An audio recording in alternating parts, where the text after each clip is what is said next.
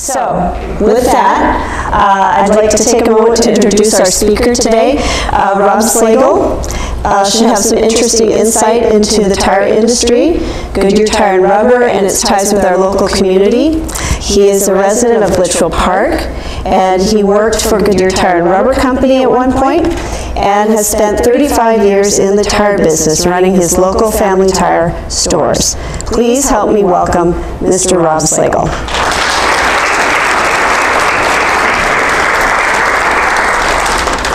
Thank you so much, Lisa. Um, I'm honored and humbled to be invited to uh, do this today.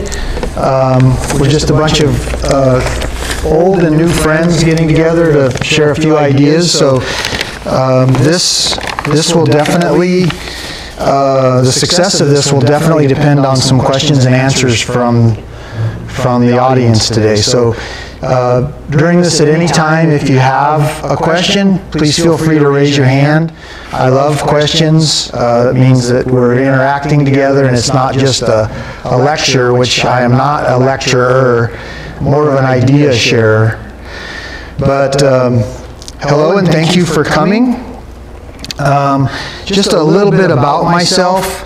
As Lisa mentioned, uh, my family started S&S Tire in uh, 1976, right here in the West Valley.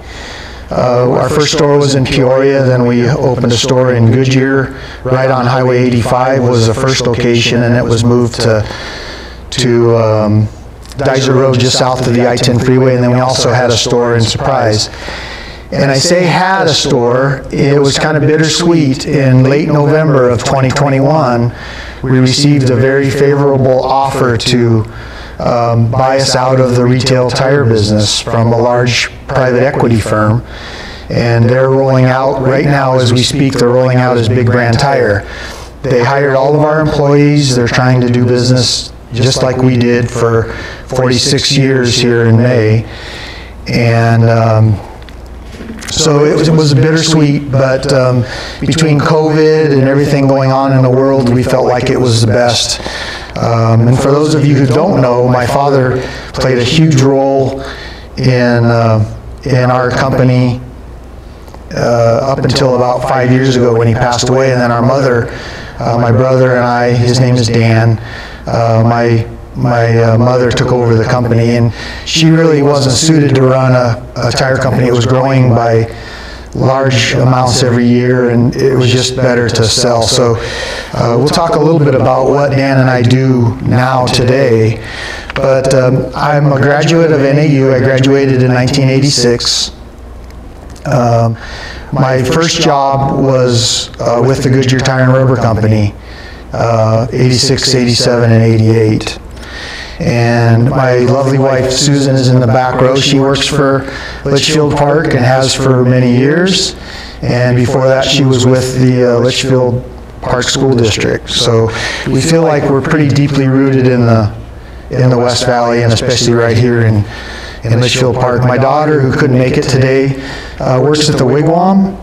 Um, back when COVID basically shut the Wigwam down, they had four uh, employees on property only, and she was one of the four, so uh, she's done quite well with uh, the Wigwam. Um, about enough, that's enough about myself. Um, I want to talk a little bit about the Litchfield Park Historical Society. They do a great job of collecting, presenting, and storing the history of Litchfield Park. If you have not been by the museum lately, I would encourage you to drop by and visit their newest exhibit, as Lisa mentioned, Rolling on Rubber. I was there last week and I was truly impressed. They do a, just a terrific, terrific job. Um, and again, this lecture's success will depend on lots of questions, so please feel free to ask a question if you have one. Either ask it during or after we're done. So my goal here today is to try to make a clear connection between the city of Litchfield Park, the Wigwam, and the Goodyear Tire and Rubber Company. So we ask ourselves, how and why did all this take place right here in the West Valley, starting in the early 1900s? The answer is simple. It's called long staple cotton. As it turns out, long staple cotton was used heavily in the production of all types of rubber products back in the day, and it helped strengthen whatever it was being used in, including all types of rubber tires. During World War I, cotton was mostly available from Egypt. G- German U-boats were sinking ships bound for the U.S. at an alarming rate. Many of these ships were carrying much-needed cotton used for our industries, including the tire industry. On top of that, the boll weevil ma- was making its first appearance in cotton crops in the eastern United States. So our founder, Paul Litchfield, a Goodyear executive and the gentleman that invented the first tubeless tire among many other patents, heard that the climate here in the West Valley was very near to that of Egypt's. So he set out here to find a place to grow his own cotton for the use in Goodyear's tires. In 1916, he visited this area then known as the Salt River Valley. He was uh, eventually able to purchase around 36,000 acres. Of the 36,000 acres, 5,000 acres was set up as Litchfield Ranch. The name was changed to Litchfield Park in or about, on or about 1926 by the United States Postal Service. In 1929, the Wigwam officially opened its doors, not as a Four Diamond Resort, but as a retreat for white-collar Goodyear executives wanting to escape the harsh Ohio winters. At that time, Goodyear Tire and Rubber Company was owned, had owned much of the land to the south and west of the current-day Litchfield Park and was being farmed as co- a cotton crop known as long staple cotton. These cotton fields became tire proving grounds for many of Goodyear's new products and innovations of that time. It was because of the amount of testing done here by Goodyear, they were able to come up with many firsts in the industry, in the tire industry, securing its title of being the number one tire producer in the world for much of the 19th century. An early Goodyear tire design known as the Diamond Tread found its way into early wigwam decor and can still be found in and around the resort's main lobbies today, on the interior and exterior. So that's a picture of, of tractor, obviously, with Goodyear's design using the diamond tread. Here's a closer picture. And if you look at that closely and then sometime go over to the wigwam and walk the halls and lobbies there, you'll see that many, another close-up picture of the diamond tread, you'll see that early architecture of the wigwam incorporated a lot of this diamond design. And that's, again, still prevalent today after, I don't know, 60 or 70 years or more. Early tires were handmade primarily of natural rubber and cotton fiber used to strengthen the tread and sidewall and to prevent punctures, which was a big problem back then. Early tires hand-built by tire builders, it was very difficult, it was a very difficult and dirty job by any standard.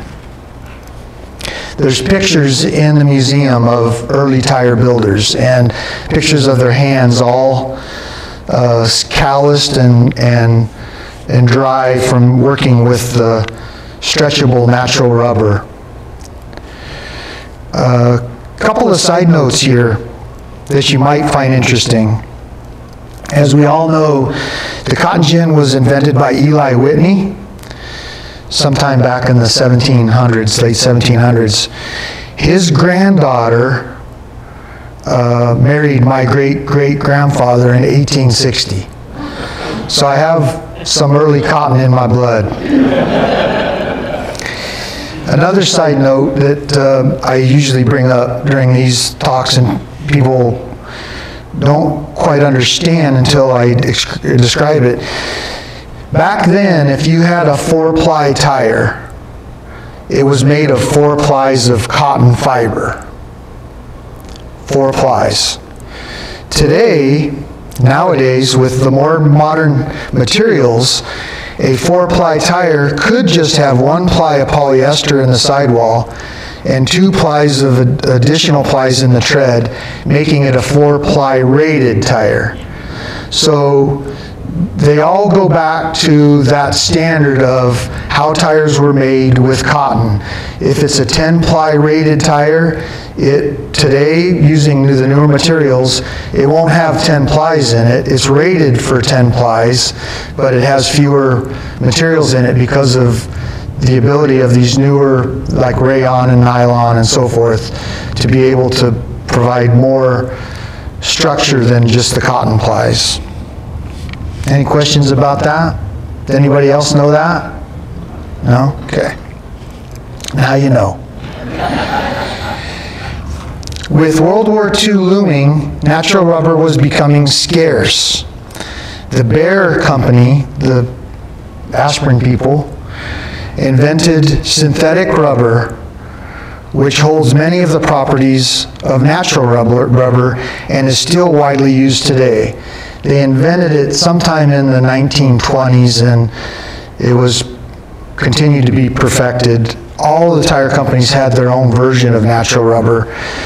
Um, but it all, it, it, most natural rubber has, I'm sorry, more synthetic rubber is, is in today's process of building tires than natural rubber.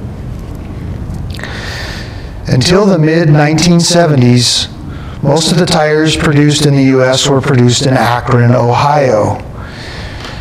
Unfortunately, that all changed, play, changed when the unions took over. That forced the production of tires to more labor-friendlier states. Not one tire is produced in Akron, today, Akron, Ohio today as a result. Another side note, I was uh, in, with my stint uh, with Goodyear in the 1980s.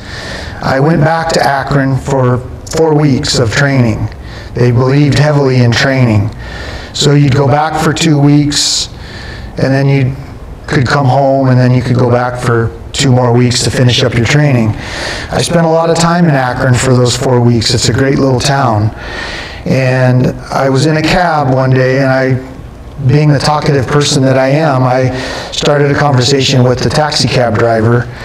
And I asked him, you know, about his background, and he said, well, I, I was a tire builder uh, back in the 60s and 70s. And he said, unfortunately, the labor unions got so strong that they ran a lot of the production of tires right out of Akron, keeping in mind that every tire built in the U.S. back then, back in the 60s and 70s, and I even put the 50s in there, was made in Akron, Ohio. That's where all the tires were made for all of U.S. production and all exports. And again, today, there's not one tire made there.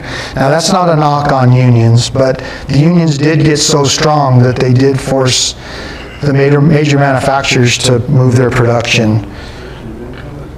Say, go ahead, say that? No. If you have, yeah, but I'm, I say the disparity of income has really grown ever since. yes. We've seen the shrink of unions and the disparity of income grow. Uh, That's what you're talking about being uh, labor friendly. Well, I believe in capitalism, land, labor, and capital. But capital seems to be winning out these days. Yeah, I would agree. Again, I'm not knocking, I'm not trying to force my opinion on anybody, but uh, I think, you know, companies, to, to build on that comment and then to move on, you know, I think companies can't move forward without employees. And I think today, employees are, for us anyway, when we were S and S and now the business that we're running, uh, we feel our employees are our biggest asset, so you want to take care of them. You don't want to turn them over or anything like that. So um, I agree with you.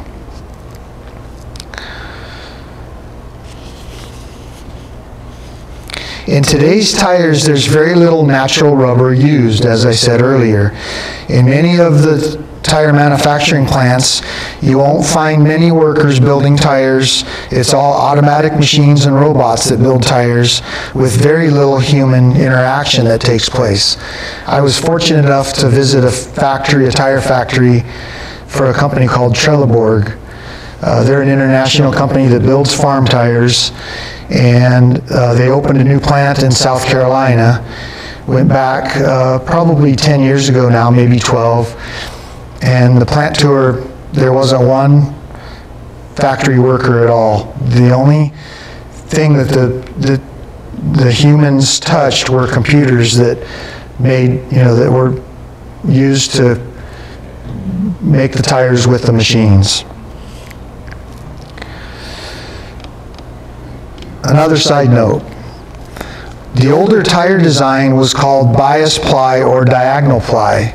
Some of you folks may remember back before radials were invented. A bias ply or diagonal ply was prevalent up until about the 60s. And what that was, I, with the microphone in my hand, I can't really show you, but it was plies on the diagonal that were stacked on top of each other, depending on how many plies the tire had. So that's what they called on the bias or bias ply or diagonal ply. Now most all tires, including passenger and pickup tires, are all radial ply, which was invented by Michelin, unfortunately. But Goodyear soon came out with radial ply tires, and that's what almost all cars, trucks, uh, semi trucks, uh, all kinds of equipment all run on radial ply tires now. In March of 1987, Goodyear Tire and Rubber is forever changed. Sir William Goldsmith launched a hostile takeover of the Goodyear Tire and Rubber Company. Luckily, the takeover was unsuccessful, but it still cost Goodyear dearly. To raise badly needed cash, Goodyear had to sell off its motor wheel division Goodyear Aerospace, which is just down, was down the street from us here, and our old friend, the Wigwam. I worked for Goodyear during this unsuccessful takeover. Early one morning, I came into work and found 15 pages of Goodyear communication on our company printer, outlining what happened and how Goodyear was hoping to continue as a global market leader of the manufacture of tires. It was a very interesting time if you were a Goodyear employee. Tons of turmoil, and none of us were sure what was going to happen. Um, but Goodyear assured us that they were going to stick with their core business of producing tires, and at that time, they were doing a lot of auto service as well. In 1987, later in 1987, Goodyear was forced to sell the Wigwam to Pinnacle's Suncor Corp for $221 million. Now keep that number in your mind because there'll be some more numbers coming your way. So they sold it to Pinnacle Suncor Corporation for 221 million. Four years later, a flailing Suncor Corp sold the Wigwam to uh, the Japanese firm Kabuto for just 70 million. And in 2009, JDM buys a note held on the Wigwam for 45 million. So today there's a movement to produce more tires here in the United States. Tire production had left the U.S. for cost-cutting measures to places like China, Thailand, India, all over. And for a while, that's where most of our tires were being produced. The shipping costs were reasonable, and you know the there was enough tires en route to the United States to be able to fill all of our needs at the time.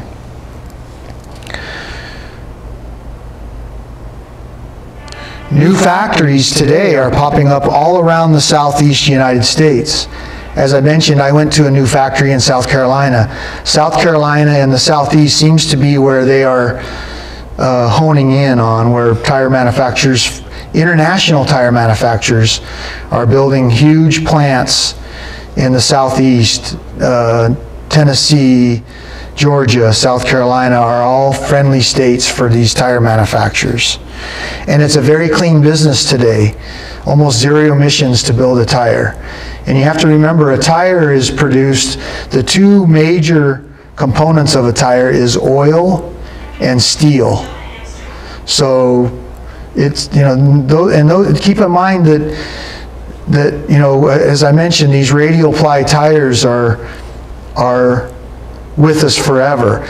A tire is working 24 hours a day. If you think of either if you drove here in a golf cart or a car or a pickup truck, those tires out there on that piece of equipment is working right now, holding the weight of those of that vehicle up. So it's they work 24 hours a day, supporting the weight of the vehicle, whether you're moving or not. And the other point I wanted to make is steel belted radials, I mean, we all take tires for granted, just like we take electricity and water and everything else for granted. But to have steel and rubber basically glued together to produce, to make a tire, that's, those are two very unnatural things. They don't, they don't participate well together. So the fact that they have steel belts glued to rubber and we're able to run down the road at 70 or 80 miles an hour with the load of our family or whatever in it is just an, it's an amazing, it's an amazing thing. So with transportation costs on the rise, we've seen huge price increases in tires today. If you don't know that or haven't realized it, just go out and shop for tires. When we were in business up until late last year, uh, in 2021, we, we bought most of our tires through uh, the manufacturers, directly from manufacturers. So we kind of cut out the middleman. We don't, we didn't use warehouses at the time. We bought directly from the where, from the manufacturer's distri- distribution center. Some of the manufacturers last year had four increases of five to eight percent each, just last year alone. So tires have increased. Most of that increase comes from transportation costs because not all of our tires are made here in the United States. Some are still made overseas. In the business that my brother and I now run, where we uh, we focus, it's a niche business where we focus on specialty tires. Tires like uh, if you walk out to the Wigwam Golf Course and you look at all the equipment there, those are the types of tires that we have and we do business with golf courses all over the United States. But at any one time, we have between 15 and 30 containers on order of these specialty tires from all over the world. Last year, surcharges were enacted on these containers. This is over and above the cost of the container. The surcharges for these containers were around $20,000 per container. So that is all added into the cost of the product, unfortunately. We have seen some price relief in 2022 on this container surcharge. It's gone down to about $15,000 per container. So today, my brother Dan and I run a specialty tire business, as I mentioned. We have warehouses in Glendale and Greenville, South Carolina. We do business with tons of golf courses, playing fields, school districts, um, ballparks, like the- all the major league ballparks do business with us uh, here in the valley. So anything that runs on turf or grass or any piece of equipment, we usually will have that type of product. And what's made us successful over the years in that niche business is we provide a large number of options for customers. So if a particular tire isn't working on a particular piece of equipment, we'll usually have something that will work better and might be cheaper. So you can see in closing that Paul Litchfield has made a huge impact in our little community. And we can thank him and the Litchfield Park Historical Society for um, keeping that history in the forefront. So with that, I will open it up for questions. Hopefully somebody's got a question out there for me. Yes, go ahead and, sure. Can you describe what the radial ply is like? Yeah, so we talked about the diagonal ply, which is tires, the plies stacked on top of each other. Radial ply, if you hold your hands together like this, that's a radial ply tire. The plies are next to each other.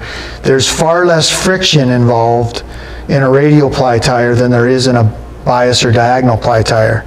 And that reduction in friction is what makes the tire last because it reduces the heat that built, that's built up in the tire. Yep. Yep, in the back? Can you repeat the question? Yeah, so I'm sorry, I- well, I'll get back to you in one second. I wanted to repeat the question. Lisa asked me to repeat the question. What's the difference between diagonal ply and radial ply, was the question. So did everybody understand that? Okay, thank you, Lisa. Yes, So what makes the specialty tires that go on turf different? well, they have a big footprint is the major difference, and the tread design is very unusual. And Lisa was nice enough to do um, some slides for me. Let's just see, there's no turf tires in here, but let's just see what she's got here. That's early cotton, and that's a rubber tree. That's how they produce natural rubber, and that's it. So, but, um, so turf tires are designed to have a large footprint, and when the equipment turns on grass, it doesn't make a divot in it. So turf tires usually have buttons on them, if you will, built into the tire to keep it from marking up the grass. I answer your question okay? Yep. Yes? So uh, tires today, are they about 10 ply tires? What's a steel belted radial? Well, if we convert everything back to the cotton plies, today's cars all pretty much have four-ply rated tires. Now, different manufacturers play around with different materials, um, but uh, the, your 10-ply that you referred to is probably more standard on a three-quarter ton or a one-ton pickup truck. But the, the passenger car tires are four-ply rated. Some of the tires, if- and it'll say right on the sidewall, it'll, it could say one polyester ply in the sidewall and two steel belts, or it might have two steel belts and one nylon belt. What the nylon does is, uh, nylon shrinks as it gets warm or hot, and so it holds the belt package of the tire closely together. So if you have a, a high-end sports car or some of the newer sedans that, you know, are, you know, are, go fast, they'll probably have a nylon belt. Still a four-ply rated tire. You won't see six-ply tires on, six-ply rated tires on, on cars. On pickup trucks and trailers, maybe, but did I answer your question? Yeah, thank you. Okay, perfect. Yes? Are all tires dated as to when they were made? It's a good question. I'm going to repeat that question. Were all tires dated when they were made? Yes. There's a born-on date on one side of the tire. Both sides of the tire down by the bead has the manufacturer code and the plant code, and then only one side has the date code. The date code prior to 2000 was a five-digit code. You won't see many of those around today. The date code that they're using from 2000 on is a four-digit date code. And again, sometimes people mount, the tire folks mount that information on the inside of the car, or sometimes it's on the outside of the car. But that four-digit code represents the week and the year the tire was made. So the first two digits would be 01 all the way to 52. And then the second digits would be the year, the last two digits, the year of the year the tire was made. So um, a- the typical code would be like 50, 20. So it'd be the 50th week of 2020. Answer your question? Yeah, and that's important for uh, vehicles like uh, motorhomes and things like that that don't wear out the tread, but they get old anyway. Right, did you hear that? So RVs that do a lot of sitting around trailers and cars, I mean, if we don't drive our cars much, I mean, you want to try to buy the freshest tires you can. Some stores will try to push, push over on you that this tire is a brand new tire, but it's important to know when it was manufactured. Typically speaking, um, especially today with so many of our tires coming from Asia and Europe, Pacific Rim. It's right now the, the when they say slow boat from China, well, it's six months for a container to leave China to get here. So any tires made in the Pacific Rim are already six months old when they get here.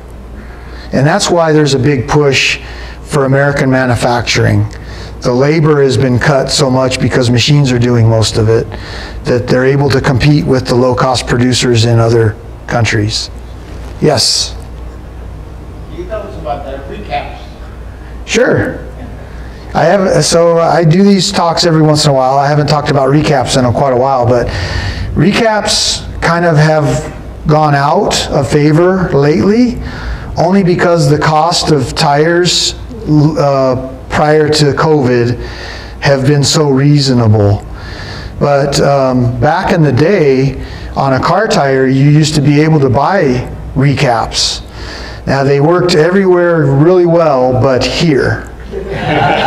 because of the heat. And what happened is, because of the heat, the recap tire uh, separated from the casing, and you, you, you know, you had a tire without tread on it after a while. So um, they kind of gone out of favor. Now recaps are coming back a little bit, which is a good thing because a casing, uh, you know, a tire itself, when it goes to the landfill, it takes about 250 years for it to decompose. And so if we can get the ca- casing of the tire, which is the steel and the sidewalls and the beads, if we can put another recap on top of that, that casing stays out of the landfill for several cycles. And you can recap, truck tires are typically recapped. We just drove back on I-10 on Sunday, and the side of I-10 uh, from California to Buckeye is littered with tire, pieces of tires. A lot of those are recaps, some of them aren't. But did I answer your question about recaps? Not too much today. Yes, let's take this one right here. What is the future of recycling tires into resurfacing roads? So the question was, what is the future of recycling tires into roads? And that's a great question because that's a great way to get rid of all these tires that we use. And the Maricopa County, for instance, uses rubberized asphalt. So there's a company out where the GM Proving Grounds used to be, if- all the way in Mesa. Um, and that's where all the waste tires go, and then they take those tires and they grind them up, they, they remove the steel from the bead and the tread, and they grind up what's left, and that ends up in our rubber, as rubberized asphalt in our roads and on playgrounds, and they use them for all sorts of things. They use them in, on some football fields as well, uh, that use uh, fake grass.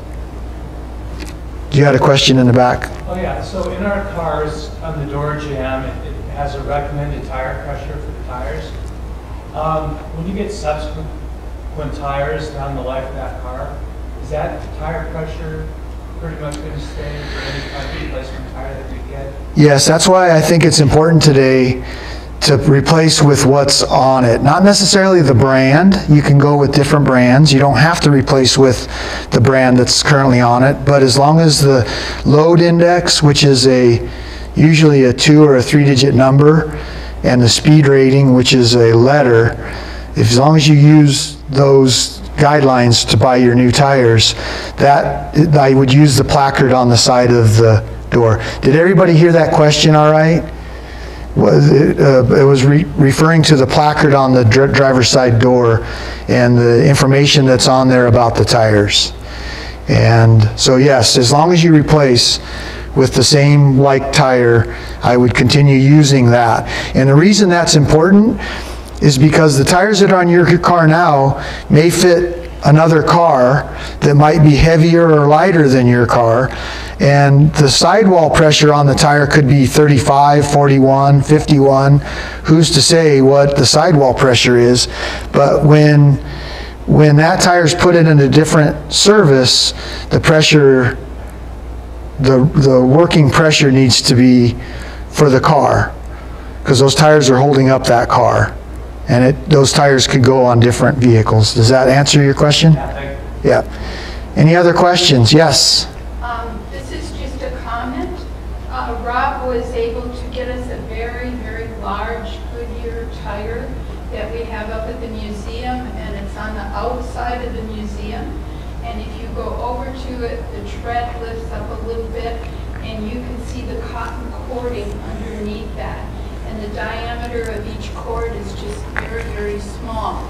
But it's one of, I think you had a very hard time finding a cotton um, tread tire for us, but we've got one up there if you want to see what they look like when they were made then. Thank you. Have So- more to say about that tire. Well, uh, you know, we did, our family did a bunch of farm tire business in this area, all the way out to Harquahala Valley and all over. So um, I was walking through our yard one day at our Peoria store where we, where we stored a lot of our larger scrap tires.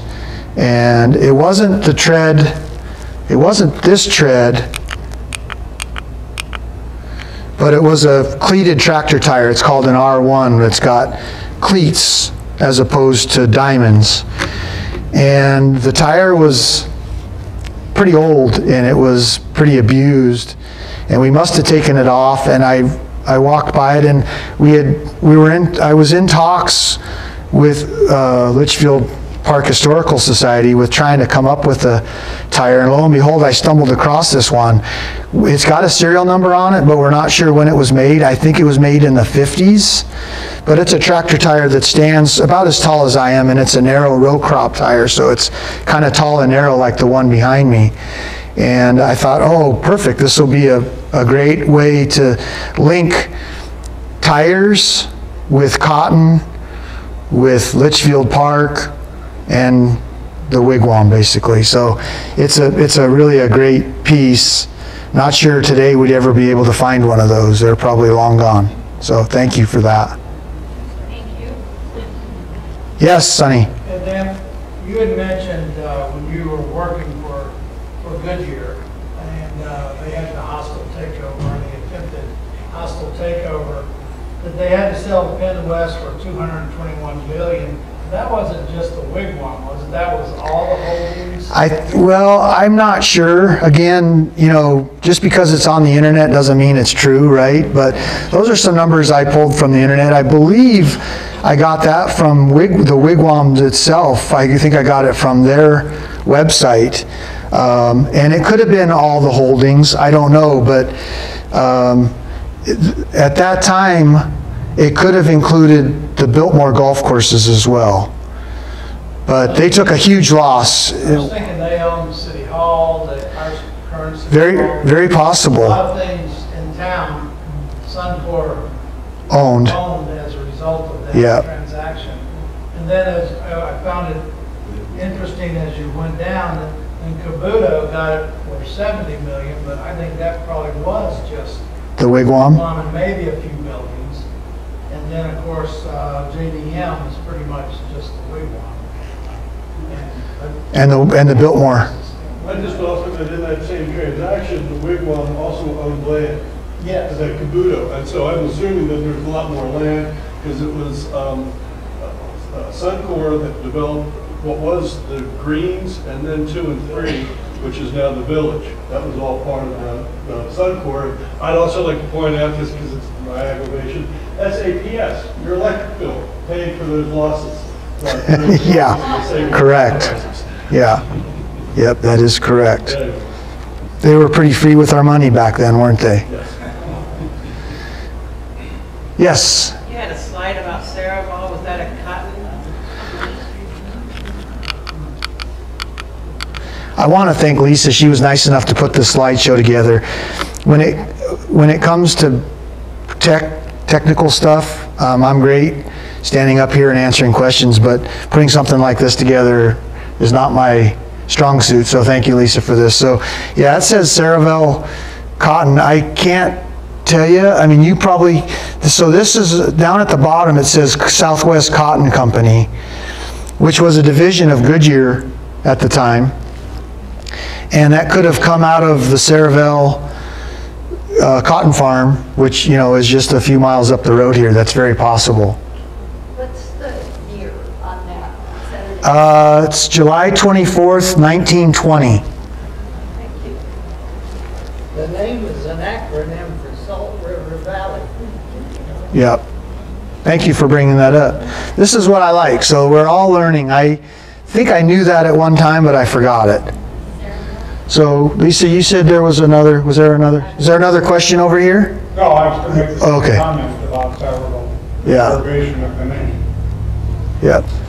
Lots of history, and without the Litchfield Park Historical Society, this would all probably disappear, or, uh, you know, who knows what would happen to it, but we're very fortunate, very, very fortunate to have them and, and the wigwam in our community and uh, our own city hall. Sonny, yep? Transition, in reading some history about Paul Litchfield, he also helped him transition to a pneumatic tire as opposed to like a solid? I don't know a lot about that. Um, tires, early tires, you know, were on bicycles. And those were made of leather and all kinds of strange things. Nothing worked very, very, very well uh, until they came up with a rubber tire. And the early ones were solid. And the early cars were really more bicycles with motors on them than they were automobiles. And so that solid tire for bicycles ended up on early automobiles. And then the airless tire was invented. The, the, and well, I, working out in the shop, I worked in the shop at our store for many, many years. That's where I cut my teeth. And so many of the wheels were dangerous back then. So Paul Litchfield helped design a wheel that was not as dangerous. If you, if for those of you who remember the clincher wheel, that was a wheel that basically, it was a round wheel with uh, basically one cut through it. I, it's hard for me to explain it, but that's how you would, that clincher was how you would dismount and remount the new tire. Later on, there was a lock ring wheel, which is still considered dangerous today, but a lot better than the clincher wheel was. So I don't know if I answered your question, Sonny, but Goodyear and Paul Litch, I can't, I don't know how many inventions Paul Litchfield had in his tenure at Goodyear. It was probably in the hundreds or more. Um, but he was a very smart man, and we're, again, I can't say that this enough, that we're lucky to be able to live in the community that he created for us. Yes? We'd like to invite you to come and see the exhibit because it has a lot of Paul Litchfield's patents up there.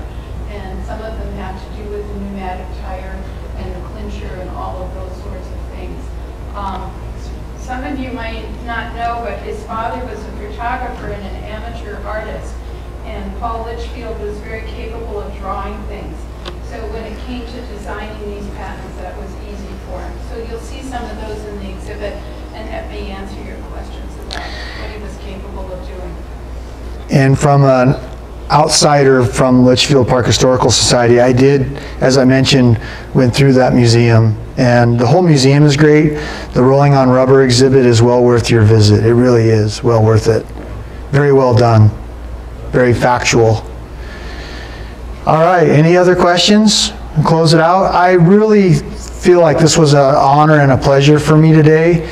I feel like I'm back with old friends and neighbors and new friends. So um, the, the Litchfield Park Historical Society has my telephone number, so if you have a question and you want to email me or call me, feel free to do so. I'm sort of kind of retired now, but still working in the business. Um, Being able to uh, let go of the retail part of our business uh, was a great thing for me because we were open Saturdays and Sundays and working crazy hours, and so I don't do that anymore. So I find myself figuring out what the next thing I need to do. But anyway, Lisa, thank you for the invitation today. Appreciate it.